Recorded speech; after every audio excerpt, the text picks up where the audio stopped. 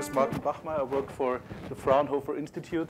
Um, the title sounds big, Global Business Development Lead. What it actually means is um, that I'm in charge of making kind of a portfolio management across the Fraunhofer Institutes. I'll explain in a minute what it is, and look for right technologies and find ways how to monetize those technologies. Um, um, by the way, a couple of days before when I started this presentation, I found that we again, um, like in the last years, won the Thomson Reuters Top 100 Global Innovators Award, which I think is pretty cool. So there's not a lot of companies who, in serial rows over the years, uh, make that work, and um, the criteria for winning such awards are pretty high, and the standards are high. Um, so I think that's a, a good, good sign on, on the innovation process that Fraunhofer can deliver as such. So, uh, who of you have heard of Fraunhofer before at all? Yeah, you have. Okay, obviously and we work together. But that, that's the standard answer, um, especially uh, if across the borders from Germany to Austria, Switzerland, people have heard of Fraunhofer because it's German-speaking territory, or kind of German. Um, and if you go north, south, east, west, it gets thinner in Europe. And if I get, go across the Atlantic Ocean to the US, nobody knows what it is. Um, this is why I put some facts and figures up to just impress you, right? Um, how big we are and how cool the things um, are that we're doing. Um, so it's actually founded in 1949 in Munich. Um, the reason for the foundation of the Fraunhofer Institute was actually a sad one because after World War II, the whole um, climate in Germany obviously was down, and um, the government tried to find ways how to bring up um, the economies and uh, get German uh, research and, and uh, knowledge back to where it was before the World War. Um, that's the true background of this whole thing. So they started a really, really big kind of the biggest incubation process for a while that attached to all of the universities in Germany, a Fraunhofer Institute was funded with some special um, technologies or whatever focus themes um, they wanted to work on with those specific universities. And they made kind of an incubation process that after university education for two or three years, these young students worked with Fraunhofer and then were sent to the industry to have better developed, better educated um, engineers and scientists across Germany. This is the other reason why it's very well known in Germany, but not outside of Germany, because the heritage as such was a pure German focus in the beginning um, to strengthen the power of the German economy. Now it's not that important any longer. Germany is back on track with some backlashes the last couple of weeks, but I still think they're doing well. And um, now we're trying to develop more of an international uh, roadmap for Fraunhofer because we think there is a scope of um, this scientific work that can be used um, across the borders of Germany, even in the US or in other countries within Europe. That's one part of my role, um, and I will talk about that in a minute. So it's uh, founded um, a while ago. It's very decentralized structured, which is um, one reason for the complexity how to get in touch with Fraunhofer. If you just go to a Fraunhofer website, you will fail because every one of those 65 institutes has a different website um, with different technologies over there, which is just a matter of the history of it all. We try to change that, but it's very complex. Um, so you have 23,000 employees working in all of those German cities. That's the landscape of Germany. And by the way, the focus is down here in Bavaria, so that's the reason why I'm allowed to stand here at an Invest in Bavaria conference. The headquarters in Bavaria and the institute that I represent, which is the biggest one within Fraunhofer, um, is in Bavaria as well. So there's different things that Fraunhofer can do to the industry. One is what we call a contract research for clients. Um, that's something that's not well known because nobody must talk about that. Um, so there are companies that I can name now because that's official, like Siemens, like BMW, like Audi, um, go to Fraunhofer and say, please help us with this specific technology, with that need, um, find us a solution for this and that. And then they pay for the research work, and then the IPs go to this company, they use it, and then somewhere in the BMW, in the engine, I'm making this up, um, there's some Fraunhofer technology inside. So that's one big element of what Fraunhofer is doing, contractual research um, with the industry. Another part is um, collaborative research with other partners. We talked about the Max Planck Institute today, universities, um, the MIT in Boston, etc. Um, so Fraunhofer works together with other partners um, with real forefront and applied research, especially for the big things like renewable energies or rare earth or things that are really hard um, to tackle on your own, where you just need a common effort to make stuff happen. Um, that's the second big element that Fraunhofer is working on. The third one, that's a smaller portion, but still interesting for Fraunhofer, is consulting services um, based on the research capabilities they have in certain institutes that just, like a body shop, rent their people, their intelligent engineers to other companies to advise them and consult them on what to do which could be interesting for American companies as well. Just say, I don't want you to invent stuff, but have a look at this and give me your opinion on that. Um, kind of consulting of smart technologists. And the third one, that's my uh, part where um, I'm mostly in. I'm in section one and section four, so to say. So I go to the industry and um, ask them, what you want? And then try to create new work for Fraunhofer. And on the other side, those Fraunhofer technologists in their spare time, let's say, um, work on creative stuff to make this world a better place and come up with interesting patterns, ideas, prototypes, etc. That I have a look at together with a team and say, um, okay, this technology that's not really good enough for that industry, but if we start an iterative process with the industry, we get it from a prototype to a first pilot series. Uh, we try first deployment, we try to get a first installation, um, and we check out where is the market. Then I write a business plan, I look for investors, and we try to get a new venture created um, together with an investor um, to, in order to be able to, to sell technologies. One of the reasons why I'm saying this is, um, I will talk about that in a second, um, Fraunhofer is a partly governmental organization from Germany, so they have certain restrictions on what they're allowed to do and what not. So they must not sell something to consumers themselves, as an example. Um, they must not sell at a price that is too competitive a technology to the market that is sold by another German company because as there's governmental money involved, that's a anti-compete thing um, that's not possible, so there's certain restrictions. So the usual process, if an interesting IP is created by Fraunhofer, is um, that a new venture is founded, a new co in the classical way. Um, all of the IPs go into this new corporation. Um, some of the engineers usually go in this new co and some new business people are hired um, to try to figure out the management of this new company. And then we look for an investor. Fraunhofer can hold a certain share up to 25%. Um, it can be more than that, but then it gets difficult in terms of politics. Up to 25% is a standard process. And um, then this new co goes to market, and Fraunhofer earns licenses um, from every unit sold or service installed, etc., etc. So Fraunhofer is not selling to the industry. Fraunhofer can only license to the industry or be part of a new corporation and get licenses from this new corporation. That's the, the usual way how Fraunhofer worked, which is important to understand um, some details I'll explain later. So these are the big, big, big Fraunhofer lead projects, as they're called. These are the big themes um, all of the 65 institutes work on right now, which is a good set of um, what's on everybody's mind. So there's nothing missing here, and they're actually successful in all of those parts. So they have stuff in renewable energy, which is amazing. They were part of the next generation of GPS satellites called Galileo in Europe that are now in the air and producing new interesting technologies. Um, they're doing autonomous driving together with Mercedes-Benz and other stuff. The Fraunhofer is involved in anything where cool stuff is happening right now in terms of technology. And the good thing for you as an investor Fraunhofer is a non-profit organization. They don't expect to get, become rich with what they're doing. They just want to have a good living. That's serious.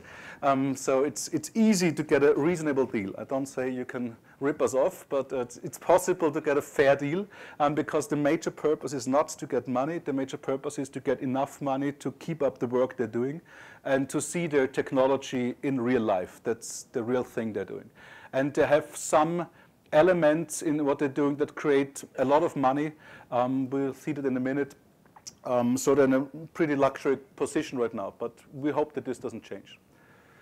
So the institute that I work for is the so-called Fraunhofer IIS, which is the German abbreviation for Institute for Integrated Circuits, in German Institut für Integrierte Schaltungen, that's why it's IIS. Um, the major headquarters here is in Erlangen. About a thousand people in total, including the students, are working there and they have certain um, important technologies that they work on. So this is a subset of Fraunhofer. That's the Fraunhofer IIS. And the technologies I'm going to talk to today are all created by this Fraunhofer Institute. but if you have any appetite to talk about other technologies here and see if there's something on the list that could be interesting or you want to have more information in front of overall, please get in touch with me. I have access to the right people. I'm not the right man for everything, that's a lot, um, but I can bring you in contact with the right people. So here it gets more precise on, on some things that we are doing there. Um, audio multimedia uh, is one of the most famous inventions that Fraunhofer did was MP3 20 years ago um, which brought in a lot of cash, which was positive and made them um, pretty famous in, in certain industries. They do a lot about IC design, obviously from the integrated circuits, there should be IC involved, um, but a lot of clever algorithms, sensor systems, communication. So everything you can do with a chip somewhere in electronics, this Fraunhofer IIS um, has some people working on stuff. Um, we have an interesting test and application center that can be used with, um, um, for different areas. So that's a pretty big, like a uh, warehouse hall, um, which is used for sports location systems, for logistics, supply chain services, testing, etc. So we have companies using those facilities for their own testing and getting uh, results, comparisons to other technologies. So one of the biggest things we did, just to give you some flagship ideas on what we're doing, one is um, the research on audio and multimedia. Um, so there's always a development. We started in 1992 with the first MP3, followed by MP3 Surround, MP3 HD, um, and then different iterations of, of codecs came, advanced audio codec, AAC, etc.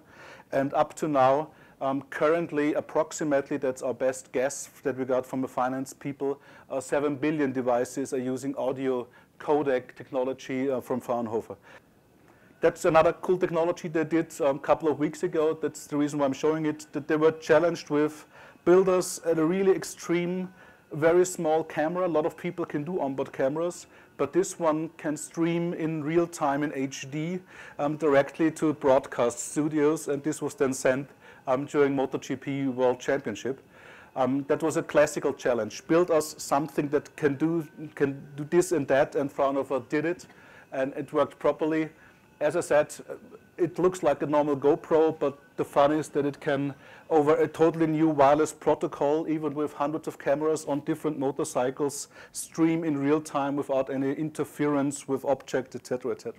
So people at Fraunhofer love to be challenged. That's, that's what I'm saying. So challenge us. Tell us what you need, and we might find a solution. The first advice is free, and we tell you yes, no, maybe, would take that long, would cost this and that, dot resources we would need, etc. Um, but it's give it a try. Um, maybe we find a solution for you. Um, I just want to focus on three different technologies that span across the range that we can do. And uh, I have some more technologies that we can discuss later on. Oh, this is how the mic really works. Um, and um, maybe those are not optimal for the audience here because I heard during the day um, that uh, could have been better prepared in terms of life sciences, healthcare, and other stuff. There's some other things I will mention with one or two sentences. One is around Internet of Things. We heard about that a lot in the last couple of months and years. Um, we code named it MIOTY. Fraunhofer is not really creative around code names, but um, is the Internet of Things technology I'm going to talk about.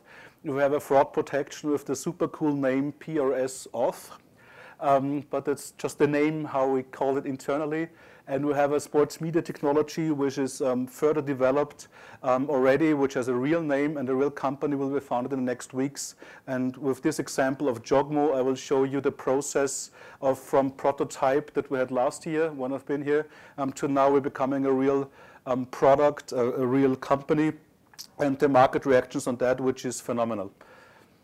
So first of all, MIOTY, just an example of, of what they're doing they heard the requirements of the industry around Internet of Things is there's a demand for an alternative solution to the cellular machine-to-machine communication that's not secure enough, that's not stable enough, there's interferences everywhere, um, the battery life doesn't work for people, it has to be maintenance-free, etc. So the, this job description was clear, and they come up with a solution um, which is now a really, really small sensor with a really interesting chip and some patented algorithm. It's always a combination of hardware and software. Here it's the same thing. And what this thing does is um, this small and low complex device, it can be built for a euro or a dollar is best guess.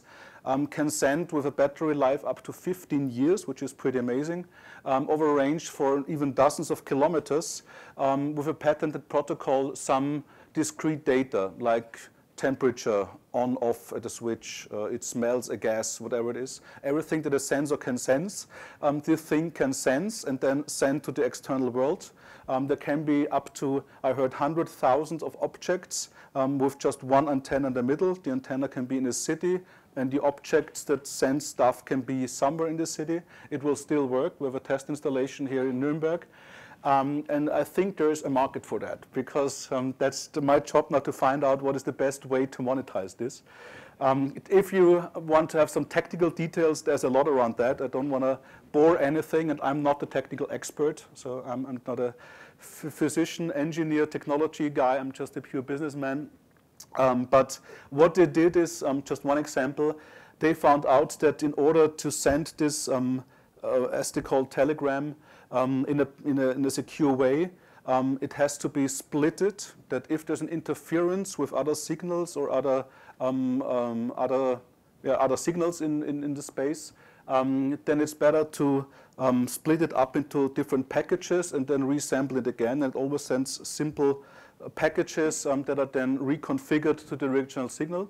and this works on simple commercial radio frequency chips as always, the best things in innovations, and I talked about this before, um, is around combining things that are on the market that are cheap, available, um, make a patent around it, wrap it up in a different way, and then sell it again. Um, and this system can now be customized for different applications.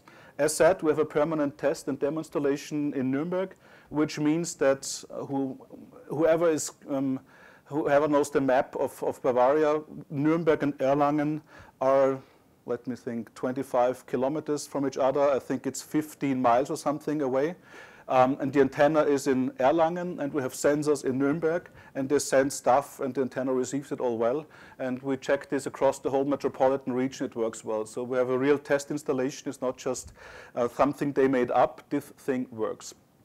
And um, we don't know if the battery life is real. That's calculated because we don't have it installed for 15 years.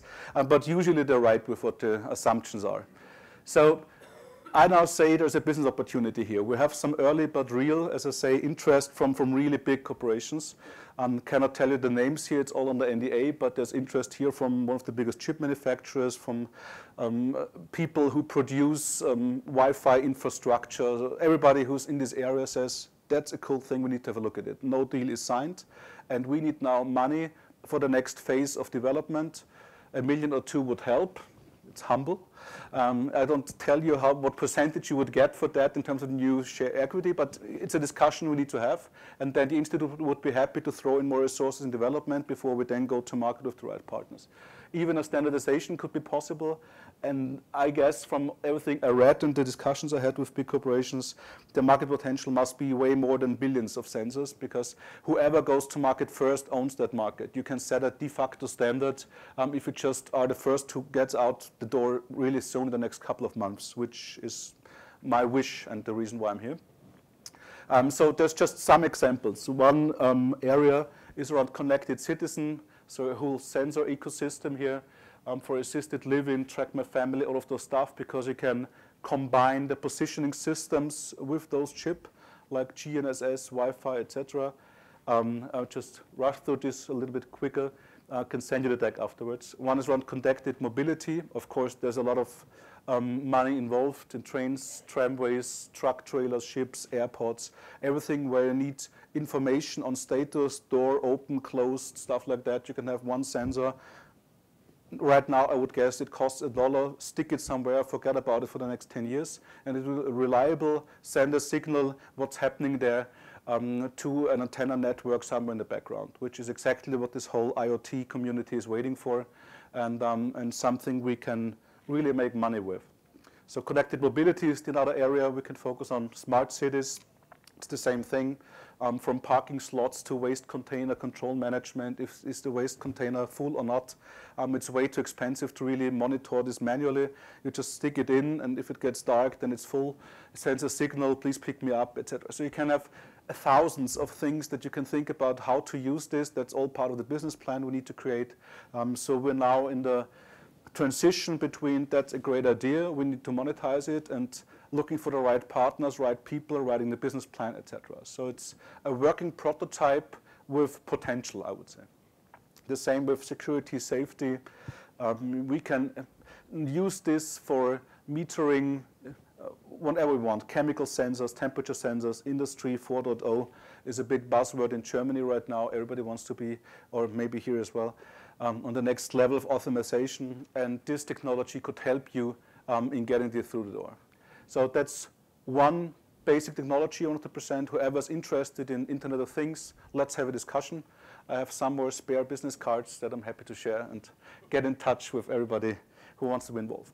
And one thing about another reason why I'm here, um, Fraunhofer usually is very good in marketing stuff in Germany. Uh, I told you about the historical reasons, but the other thing is that um, they're not experienced and the legal setup is not really right to just form a legal entity in the US, etc. Um, they love to have a German legal entity because they know the German law, and it's, it's not a joke or sarcastic, it's just the way they operate. Um, and um, if this German entity then says we have a partner in the US who does the distribution or the licensing, etc., for the American market, that might be an ideal scenario. So it's not only about buying this company or having equity in this company. It might be licensing deal. It might be a partnership with revenue share models. Um, so that's pretty flexible. Um, but what they're not good at is um, founding something directly in the US. It's always good to have a certain central hub in Germany first, and from Germany go to somewhere else.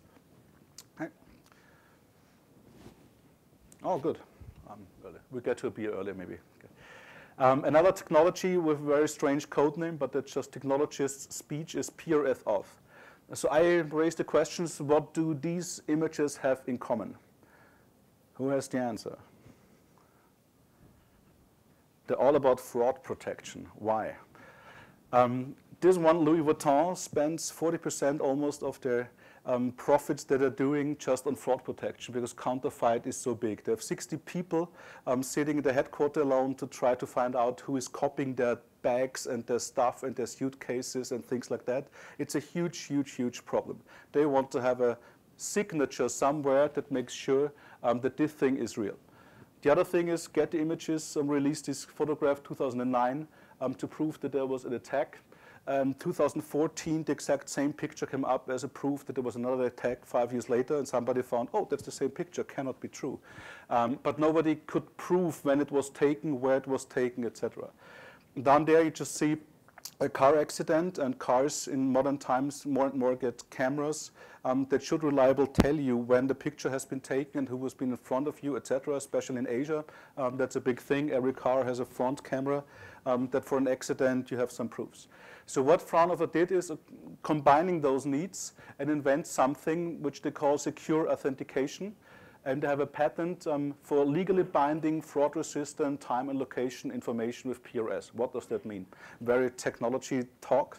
PRS is a public regulated service, so something really reliable um, with the German government, but it can be rolled out globally, we hope um, together with Galileo, the satellite things here. So the position is absolutely clear, um, almost centimeter precise. They can tell where something happened. And together with the other protocols involved, um, they built a reference receiver that says this happened at that point in time at that place. And this can be a production because there's maybe a chip in a bag that says I was produced at that factory at that time. Um, it can be a timestamp or a watermark on photographs, um, which is digitally marked. That even that is possible, but reliable and said this picture has been taken in, I don't want to know a bad name, but at the World Cup final in Rio, that's positive, right? Um, at, that, at that certain time and was shot by that person. So you can have watermarks and proofs of um, what place, what time, and who was the originator of certain content, and, and kind of watermark this to a product, to a digital camera, photographs, etc. So there's certain business opportunities. Plaque detection, of course, signatures of images, videos, even for micropayment banking. There could be a view on that. Um, privacy protection, critical infrastructure protection. So, eh, of course, for automated driving as well. There's some, some angles here. Um, that's a prototype that is working for some cases, and whoever has any knowledge in that market, this is the thing I'm looking here, Um, and who how to access this market, um, we have no experts in the team right now. And what to do with that? So that's another typical Fraunhofer story. So I selected my examples for some reason to say one thing could be big, uh, but we'll need to go to the next stage. This one I don't know yet, but who's an expert in this whole fraud protection um, or counterfeit market who can tell us what the market needs, what other technologies exist, um, could be interesting and helpful. Just a second example. And the third one um, is what I love because I've been with that project here last year and want to um, describe what happened in the last 12 months.